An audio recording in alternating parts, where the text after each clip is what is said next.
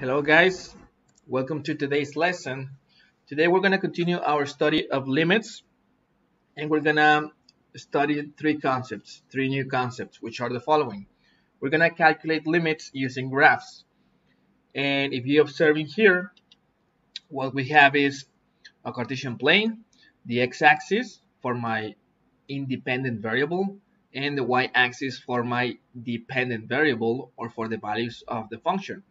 And in blue, we observe the graph of the function, okay, just a section. It can go on in both directions. And basically, we can find the limit of a function by using the graph in a very simple way. All we need to do is, for example, if we, if we want to calculate the limit as x approaches a of my function, function f of x, all I need to know is observe what value the function acquires okay, in this case L, when the value of x is a. So for this particular value of x, for a, we can observe that the value of the function is L. And that's it. Just by observing the graph, by observing this point, we can conclude that the limit of f as x approaches a is L. We're we're gonna see this in a moment with several examples. Uh, the second thing is infinite limits. What does this mean? Okay, what this means is the following. First, I'm going to read this for you, these two things. We say the following. The limit as x approaches infinity of f of x equals L. And another infinite limit is the following. The limit as x approaches a specific number a, or as x approaches a, that's enough, of the function f is equal to infinity. What does this mean? It means in the first case, let's let's in the first case, let's look at this one. In this one, what we want to do is let x grow infinitely.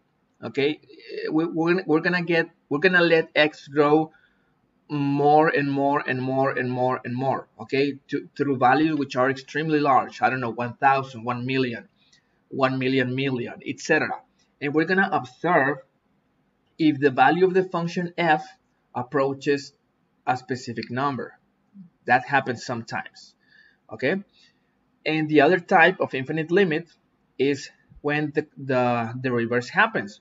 When you make x approach a specific number, a definite number, for example, I don't know, let's say 3, and your value of the function grows to infinity. Okay, again, you're gonna be understanding this in a moment through the use of graphs. And finally, we're going to look at one-sided limits. What is this? It's when we approach x to a number, to a specific number, through different routes. This is the key phrase. Through different routes or through different paths, so to speak. Again, first I'm going to read to you how this is supposed to be read so that you understand these two uh, symbologies, we read this in the following way. The limit as x approaches a from the right, that's, that's how you use this plus, the limit as x approaches a from the right of f is equal to m. That's how this is read. And, and please notice that the plus sign goes to the right of the number. If you write this, that would be incorrect okay? And the other symbology this this phrase this mathematical phrase it's read in the following way. The limit as x approaches a from the left of f is equal n okay? We're gonna see what what this means in a moment. So let's go to, to the examples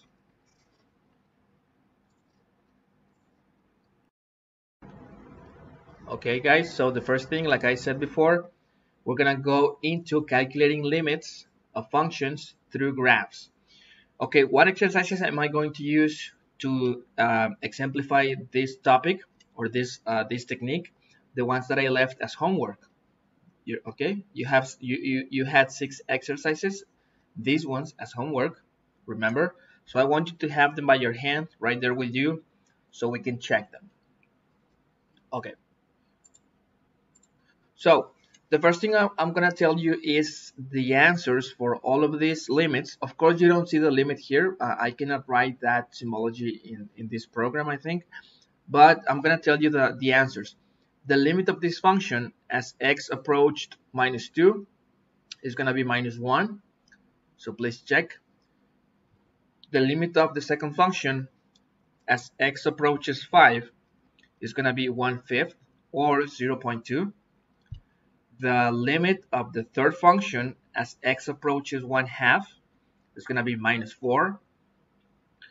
The limit of the fourth function as x approaches minus 3 will be minus 4.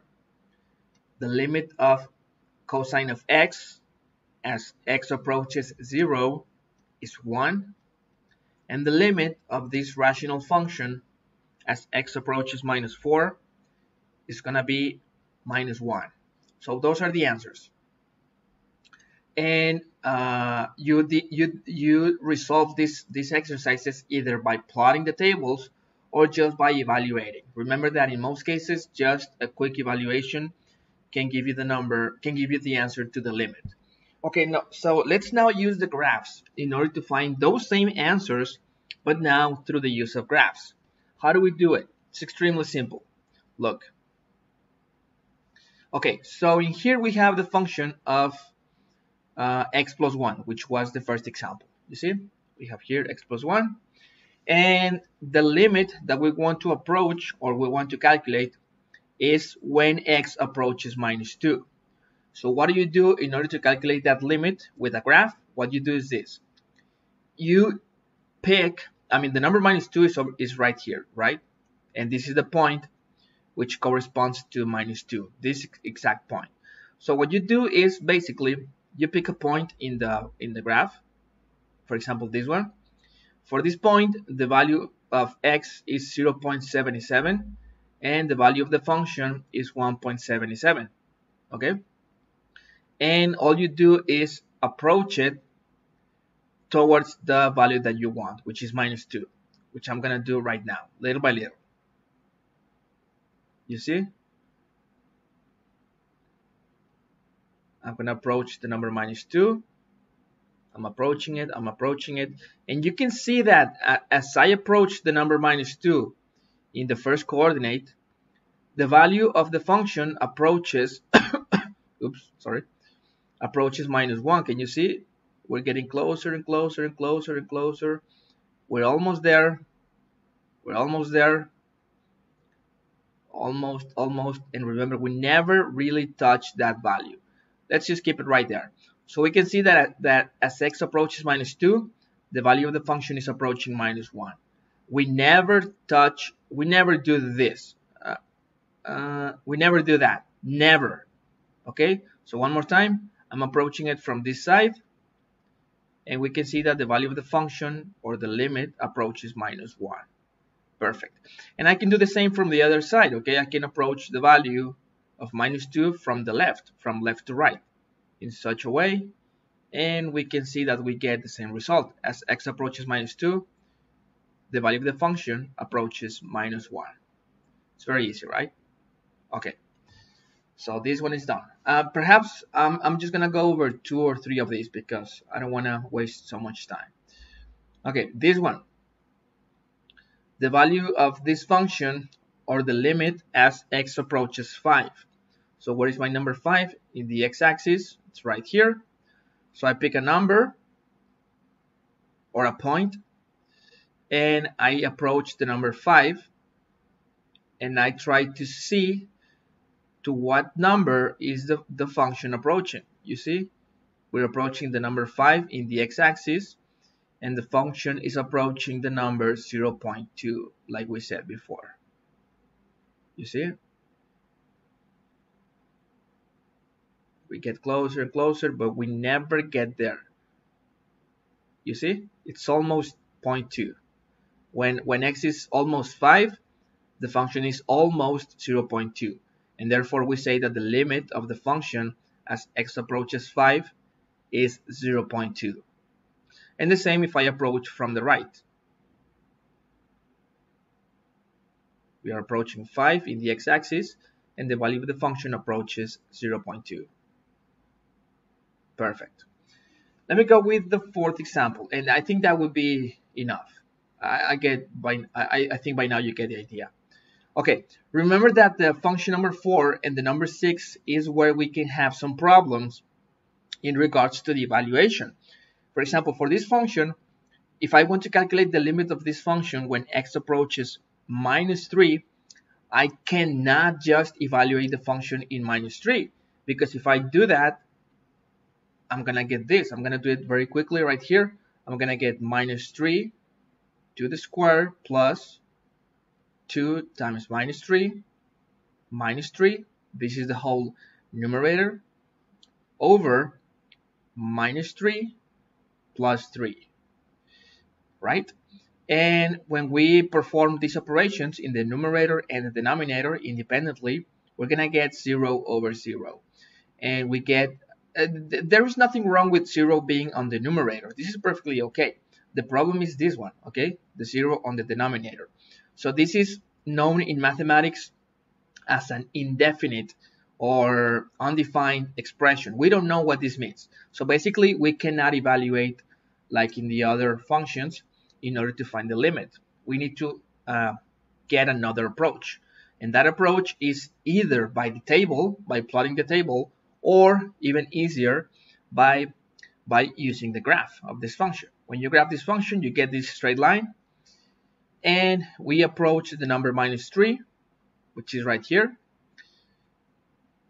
Okay, so I pick a number and I'm going to approach minus 3, as you can see. We're, we're appro approaching the number minus 3 in the x-axis, and we observe to what number is the function approaching. You see, as x approaches minus 3, we can observe that the function approaches minus 4. But we never touch such values. You see? And the same from the left. From left to right, we get the same thing. When x approaches minus 3, the value of the function approaches minus 4. Now, let me tell you something that you may already know by now.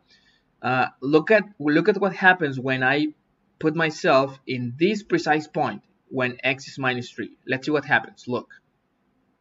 You can see that the point is filled, like uh, it has a, a solid color blue.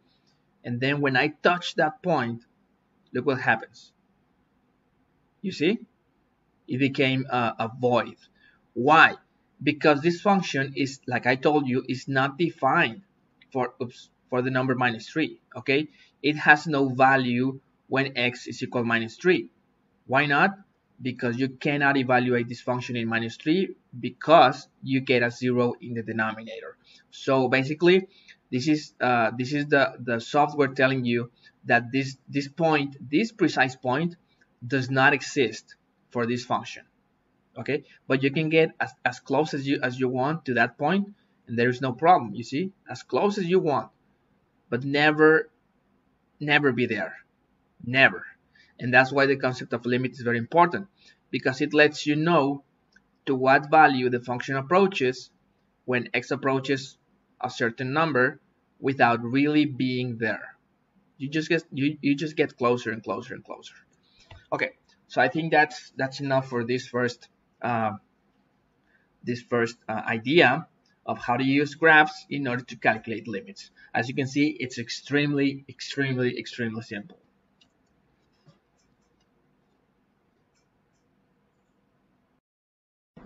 Okay, the next idea we're gonna learn today is that of infinite limits. Infinite limits. What does that mean? Okay, let's let's graph this function, the, the, the exponential function. Uh, you should know by now the graph of this function, right? You should be uh, somewhat familiar with it. Looks like this, right? It grows very quickly. That's why we say that things uh, grow exponentially because, you know, for x equals 1, you get this number. For x equals 2, you get almost 8. And it grows, it, it grows extremely quickly. Okay, and in the other side of the y-axis, like to the left, what we observe is this behavior, right? The graph of the function goes and gets very close to the x-axis, very close. If we zoom in, you can see that it, go, it, it gets very, very close.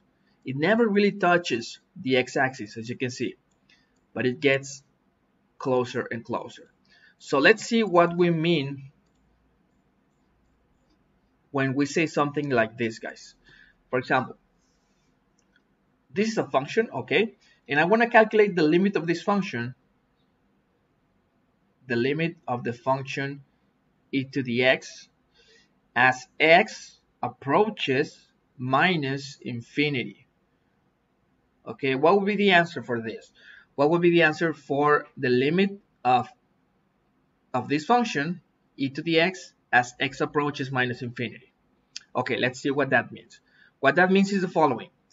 That you're gonna, again, you're gonna pick a number, a point in here, in the graph, and you're gonna let it go towards minus infinity, okay? Basically, you want to go as far away as possible from the y-axis, okay, or from your origin towards the left, towards minus infinity, okay? Further and further and further away. So let's see what happens when that, when we do that. So I'm gonna let x approach minus infinity. Right now, x is minus 1, and the value of the function is 0.3. Right now, x is minus 2, approximately, and the value of the function is 0.1. And we do that uh, more and more and more, okay? Right now, x is minus 5, and as you can see, the function is 0.007, so it's almost 0, okay? Right now, the, the value of x is minus 6, and the function is 0.003. It's almost nothing. Let's continue the process. I'm going to zoom in.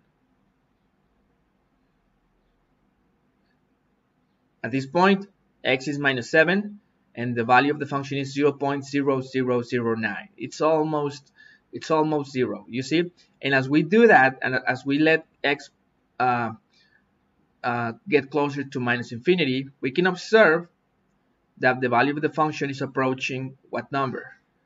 Can you guess? Look, it gets very close to zero and more and more and more and more okay so basically what, what would you conclude for this limit as the x as x approaches minus infinity the value of the function will be zero. Okay? Uh, the, the function will approach zero as x approaches minus infinity. And this is what we know as an infinite limit. Okay? Why? Why infinite? Well, well, because we're letting x approach either minus infinity or plus infinity. Okay, so this is what is known as an infinite limit. When, when one of your limits involves the infinity, that's called an infinite limit. So that's how it works, guys. Let's go with the second example. This one. Okay, so this is a rational function. It's a hyperbola. Again, I, th I think you should be familiar with this function. And it's 1 over x plus 1. And in this case, what I want to calculate is the limit of this function as x approaches positive infinity. The limit of my function 1 over x plus 1 as x approaches positive infinity or plus infinity. What would the answer be? Let's do the same thing. Let's use the graph and I'm gonna let x grow towards infinity. So I pick any now any point over here and I let x grow and grow and grow. Right now x is 15 and the value of the function is 1.067. Right now x is 20 and the value of the function is 1.05 and I'm gonna do that more and more you see? Observe towards what number the function is approaching as we let x grow. Can you see? And we can spend a lot of time doing this okay? By now, you're, I, I believe you're supposed to know towards what value this limit is approaching, right? As x grows and grows more, we can see that the function approaches the number 1. Can you see? It approaches 1. And that would be the answer. Okay? The limit as x approaches plus infinity of this particular function will be 1. And this is known as an infinite limit. And as a final example, let's use a very well-known function, the quadratic function, which we know is a parabola, right? Okay, I put it right here. Okay, and I'm gonna do something different here. I'm gonna calculate the limit as x approaches infinity of this function x squared and let's see what happens to the limit of this function when x approaches infinity. We do the same thing. I pick just a, a value and I, I let x grow and observe what's happening to the value of the function. Right now the, the value of x is 5 and the function is 25. Right now the function is, I'm sorry, the x is 6 and the value of the function is 40 and we can go on forever you know. Right now the value of the function of the x is 10 and the value of the function is 100 so what do you think is going to happen when we let x grow more and more and more and more? Okay? Towards what value is the function approaching? Can you see? Do you, do you believe it's approaching a specific value or it's also growing without limit. Okay, x is growing. But look at what happens to the function. It's also growing, right? Like crazy. So basically, we can conclude that the limit of this function, x squared, as x grows to infinity, or as x grows uh, more and more and more, that's another way to say it, will also be infinity, right?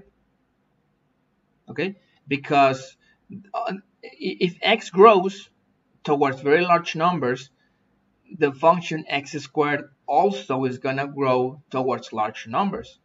I think that's that's very clear to understand because we're multiplying large numbers by themselves uh, by having this square, right?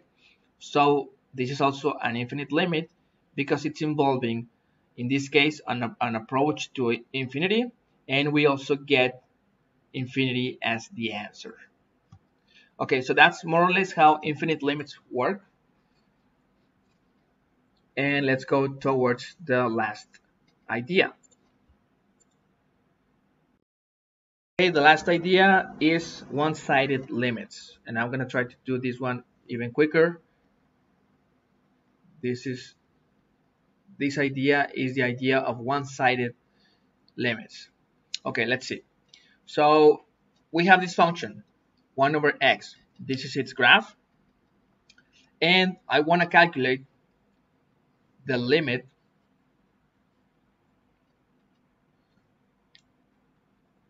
as x approaches 0 of this particular function. What would be the answer? Okay, let's observe the graph and let's try to perform the calculation using the graph, the calculation of this limit. So like I said, you're gonna pick any point in the graph and you're gonna approach that point towards the value of x that you were given, in this case zero. So zero is here and let's see what happens. Okay, if I take a point from this side of the graph, from the right, and I approach zero from the left, I'm sorry, from the right towards the left, like I'm doing right now, you can see that as x approaches 0, what is happening to the value of the function? Look, x is approaching 0, and you can see that the value of the function starts to grow very quickly, right? Look, it's going to grow and grow. Can you see? x is approaching 0, and the value of the function is shooting upwards towards very large numbers. Start here to look. x is approaching zero, and the function is approaching very large numbers very quickly. You see? And, and the same is gonna keep keep going. As, we, as x approaches zero, the function approaches extremely large numbers very quickly. And you can see you can see from the velocity of the point, you can see that right now, you see? Okay, so what we say is that as x approaches zero, but we have to add something else. From the right, like from the right to the left, the, the limit of this function is gonna be plus infinity because the, the values of the function start to grow very quickly, okay, towards plus infinity. But if we try to do the same, if we try to approach towards zero from the other side, from the left towards the right, we're going to have a different answer. Look, if I try to also to approach the zero, which is right here, but from the left towards the right, you're gonna see what happens. Look at the values of the of x and the values of the function.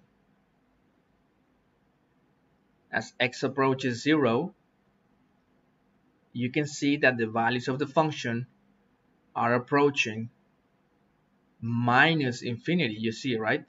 Right now, the, the value of x is minus 0.1 and the value of the function is minus 7.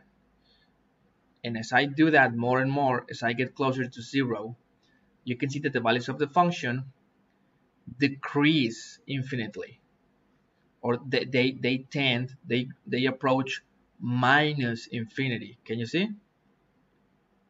More and more and more and more.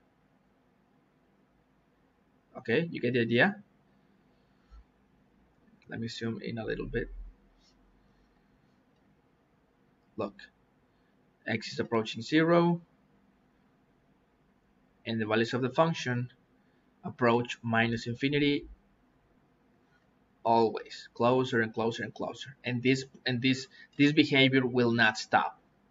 As x approaches 0 the function will approach minus infinity. Okay? But it will never touch it.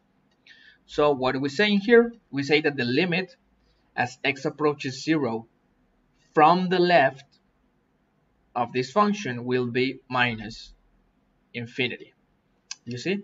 So basically we have a different idea here. We have the idea that as x approaches a specific number, even though it's the same number, okay, x is approaching zero in both cases, but doing it by different routes or different paths. That's what I meant uh, in the first slide of this lesson. By different paths, from this is from the right or from from right to left you get that the limit is plus infinity. On the other hand when you approach zero from the left towards the right you get that the answer is different. In this case is minus infinity. So you have to be aware of, of this uh, of this concept okay? Because this happens often.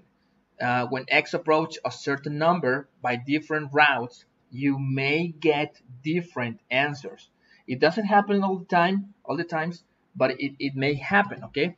Uh, in the first examples that I showed you, let me, let's go back here. Let's go with the very first function that we that we treated, for example, this one. And this is the function x plus 1. If I want to calculate the limit of this function when x approaches 1, okay, if I do so from the right, what is my result? 2, right? And if I do so from the left,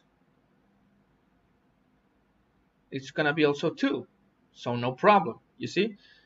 From both directions, from the right or from the left, we get the same answer, which is not the case for certain specific functions and for certain specific values okay i don't want you to believe that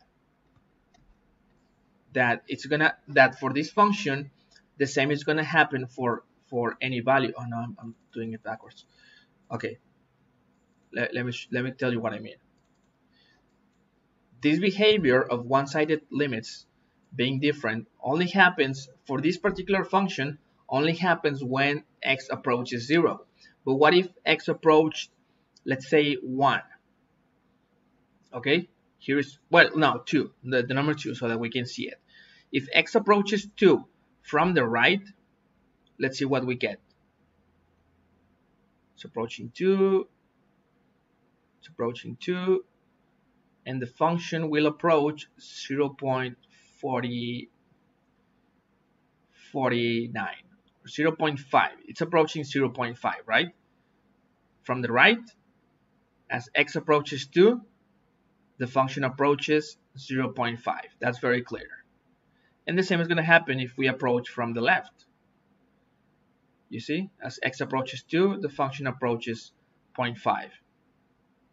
So in this case, uh, both one-sided limits from the right and from the left are the same but when x approaches zero you're gonna have different results okay so that's how this this idea of one-sided limits uh, work guys and I'm gonna stop it right here. I think it's enough material for today. And let's solve the questions. I'm sorry the exercises